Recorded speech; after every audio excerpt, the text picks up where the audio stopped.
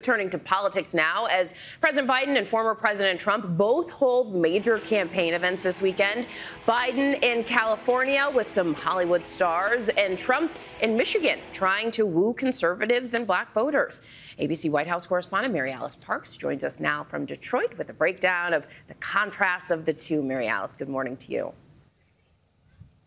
Yeah, Janai, good morning. Former President Trump campaigning here in Michigan alongside a few potential vice presidential picks. While President Biden overnight with President Obama at that mega fundraiser in California, he said the next president could make more appointments to the Supreme Court and that that was reason voters should reelect him.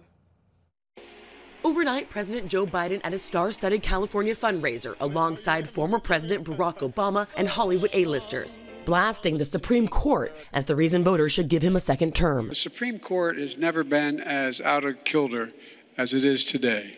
Biden traveling straight from Italy and his meeting with G7 leaders, where he advocated for U.S. leadership on the global stage, especially in support of Ukraine's fight against Russia's invasion. And we'll be with Ukraine until they prevail in this war. That message, a stark contrast from former President Trump, who tried to block more aid to Ukraine and last night was campaigning in Michigan. I think Zelensky is maybe the greatest salesman of any politician that's ever lived. The event in downtown Detroit, hosted by far right activist Charlie Kirk, who this year said Martin Luther King Jr.'s legacy was, quote, a myth. Outside the event, supporters of Trump, as well as white nationalist Nick Fuentes, gathered in the streets. And it'll be one of the. But in this diverse Democratic stronghold, Trump making a direct pitch to black voters, who in 2020 helped deliver the state to Biden. Trump leaning largely on his anti immigrant message. They're coming into your community and they're taking your job. He again promised mass deportations on day one should he take back the White House.